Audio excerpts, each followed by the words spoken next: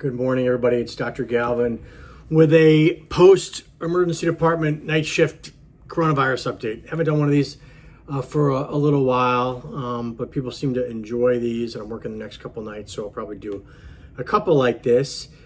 Uh, interesting times here in the emergency room. Very, very busy. Lots and lots of COVID patients. Our hospital is full of patients, and, and many of them have COVID. Um, before we get started with that, a little introduction. My name is Jeffrey Galvin. I'm a board certified emergency physician. I've been doing some video updates about the virus since it started way back. I think our first video was maybe end of February, early March. And I've been trying to do these things a couple times a week. Uh, for a long time, I did them daily. But anyway, some of the times I do them after my emergency department shift to give people an idea of kind of what's been going on.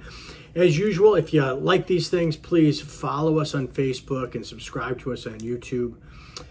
I usually start these off with the numbers, and the numbers, you know, are keep going up. 23 million cases worldwide, uh, 808,000 deaths, 5.8 million cases in the U.S., 179,000 deaths. Here in my little state of North Carolina, 155,000 cases, 2,500 plus deaths.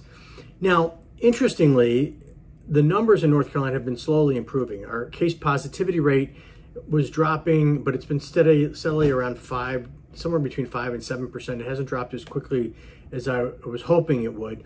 But hospitalizations have actually dropped. Um, as of yesterday, there were 898 hospitalized COVID patients in the state. On the 28th of July, there were almost uh, nearly 1,300. So the numbers of hospitalized patients have dropped.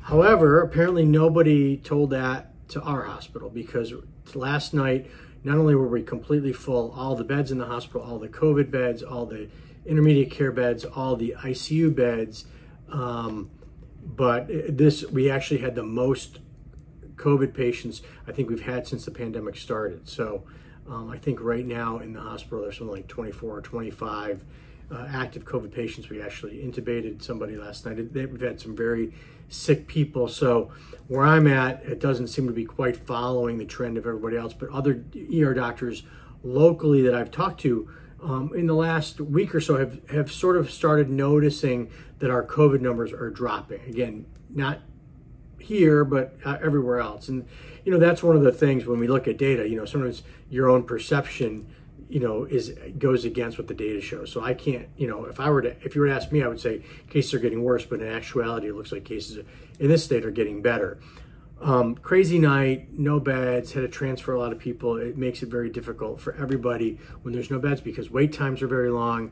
Staff is frustrated, patients are frustrated. We can't get things done. The doctors are like, why are there all these people in the waiting room? Get them back, but there's no beds to put them in. There's no staff to take care of them. So it's a you know it's a huge cluster, and we hate it. Um, and that's what it's been like, and and uh, apparently it's been like that all weekend long.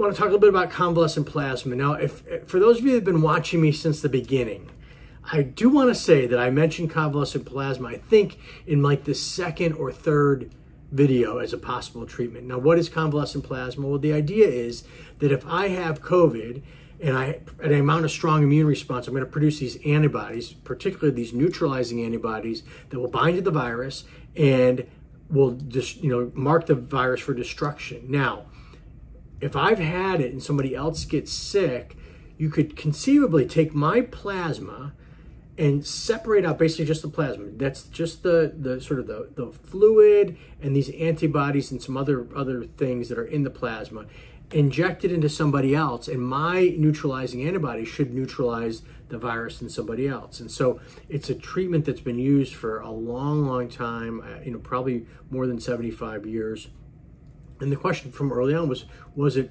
useful or not and you know trump just made a big you know fanfare about doing an emergency use authorization uh, yesterday. Now, you know, in this time of year, is it politics? Is it science? It's hard to tell. So let's look at the science behind convalescent plasma. And right now, the data is mixed. The best study we have is out of the Mayo Clinic. They studied 35,000 patients, and what they found was an 11.9% mortality rate of the patients that received convalescent plasma after four days of being really sick and only an 8.7% mortality rate in those who got it before four days. So it does seem like people that get convalescent plasma early benefit, and it looks like there's a reduction in deaths. Now, unfortunately, no control group in that study. So, you know, not great. Um, there's a few caveats. Um, these patients were all less than 80 years old. None of them were on a ventilator. So when you know Trump says there's a 35% reduction in mortality, yeah, based on this one study, there's been a few other smaller studies. One that didn't show any benefit. Another one that was stopped early because the researchers thought maybe there were some problems that patients were having related to the plasma treatment. So definitely not definitive. It, should work on paper. I think the more exciting thing, are, and we've talked about these several times, are these antibodies that um, you know are, artificially produced antibodies against the virus that you could conceivably make and then give somebody who's sick and they would work right away without plasma or anything else and there's a couple of those that have some pretty promising results and i think that might ultimately be a better solution but at least convalescent plasma, you know, does seem to be having some effect, and so that's good. You know, the other question is like, does antibodies, you know, does it make you immune or not? And I actually posted on our Facebook page this article about this fishing boat. It's kind of fascinating, right? So this fishing boat went off, and there was um, 122 uh, crew members, and they were gone for not very long, 16 days, when a bunch of people started getting sick. They came back and they tested everybody, and 104 out of the 122 had caught COVID. Now, they'd all been tested and were negative before they left. I think everybody but two. Um, so clearly, there were some people that were had early infection, or one or two people that had an early infection that was pre-detection. Right? We've talked about how you you might be able to have the infection and not be detectable on testing for a couple days afterwards um, and whoever that that small number of people were, were, were infected the entire crew. Now, of the um, so 85% of the crew got infected. Of that, 15% that didn't get infected, three of those had positive antibodies when they tested them beforehand. And so they had those neutralizing antibodies. And those three that had those antibodies did not get sick. So, you know, it, it's it's sort of pre-release and it hasn't been peer reviewed or anything, but it's really interesting, right? The three people that were known to have antibodies did not get sick, and there was basically an 85% chance of you getting sick if you were on that boat. So conceivably, one of those three should have, at least probably two of them, should have gotten sick, but none of them got sick. So that's a, a tantalizing clue that antibodies do provide protection. So we're going to cross our fingers and hope that that's true. Um, it's been a long night. I'm tired. I'm going to go home and go to bed. I'm back here again tonight. Um, I will do another update later in the week.